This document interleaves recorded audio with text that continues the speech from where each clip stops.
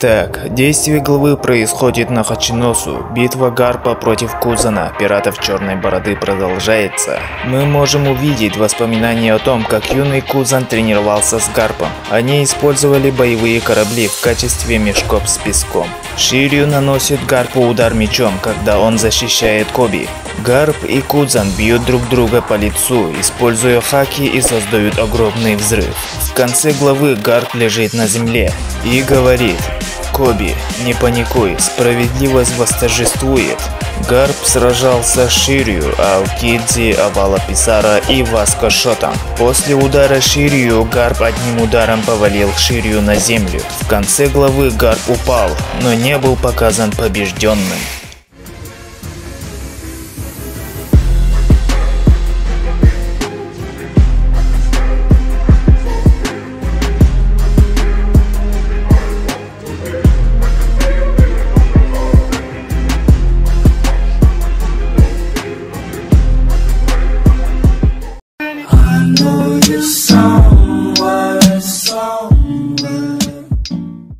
Всем привет! Подписывайтесь, ставьте лайк, нажмите на колокольчик, чтобы не пропустить следующее видео и оставьте комментарии.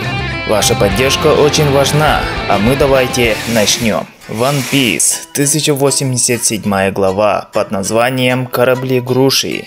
На обложке Эйс нагревает воду в бане для парочки капибар. На первой странице на базе морского дозора G1 лежат побитые боевые корабли. Дозорный говорит, что это корабли груши. Джанго и Фулбоди спрашивают, кто это сделал. Дозорный рассказывает, что для вице-адмирала Гарпа это была лишь рутина так и для бывшего адмирала Аокидзи. Он был учеником Гарпа. У них было правило – запрет использования воли и способностей дьявольских фруктов, чтобы бить.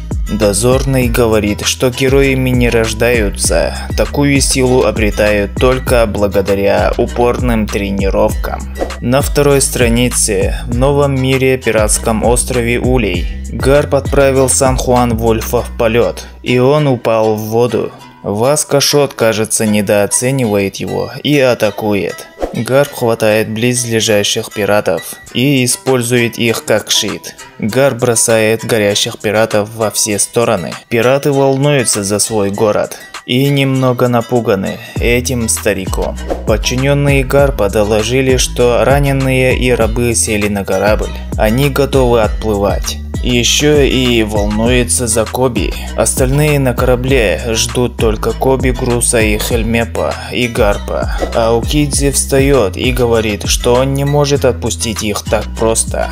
Хельмепа волнуется за свою шкуру, а Груз волнуется за свою карьеру. Гарп и Коби готовы сражаться дальше. Гарп приказывает этим троим отступить. Пираты пытаются обмануть их, типа что у них есть заложники. Коби в это поверил и хочет вернуться. Груз говорит, что это ловушка. Какой-то пират пытается напасть на Коби, Коби в замешательстве. Но потом Гарп спасает его. Но не тут-то было. Приходит до Ширию и протыкает его в живот. Ужасная боль. Гарп ранен. Он поймал невидимого Ширию и швырнул на землю. Ширию показывается. Гарп узнает его. Ширию использовал свой фрукт, невидимость, и пронзил Гарпа. Парни волнуются за Гарпа. Гарп говорит, что это ерунда и велит им бежать на корабль. Коби винит себя в этом, но Гарп говорит, что он был целью с самого начала. Пираты возмужали и хотят голову Гарпа. Они говорят, что за Гарпа дают три короны, это около трех миллиардов белли. Кузан сам атакует, говоря, что им все равно не справиться с ним. А у Кидзи используют ледяную перчатку, что бы это ни было. Начинается флэшбэк. Аукидзи пришел к Гарпу, чтобы стать его учеником. Гарп отказывается и велит его идти инструктором морского дозора.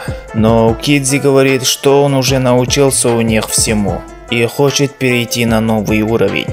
Но все равно он посылает его. Ну что ж, он все равно стал его учеником и уже начали долбить эти корабли. Закат или восход они бьют У Гарпа сын стал революционером. Они бьют и дальше бьют. Потом он узнал, что его внук хочет стать пиратом. Дальше уже Аукидзи стал адмиралом. Кузен говорит, что у Гарпа привычка воспитывать плохих парней. Но далее Гарп говорит, что он с ним уже закончил. Мой глупый ученик. Оба попали в друг друга прямым ударом. Прогремел огромный взрыв. Обоих раскидало от взрыва. Коби кричит, волнуется за Гарпа. А Вала Пизар угрожает их друзьям на корабле. Корабль еле уплывает. Хибари расстроена из-за бесполезности. Что-то происходит, солдаты недоумений.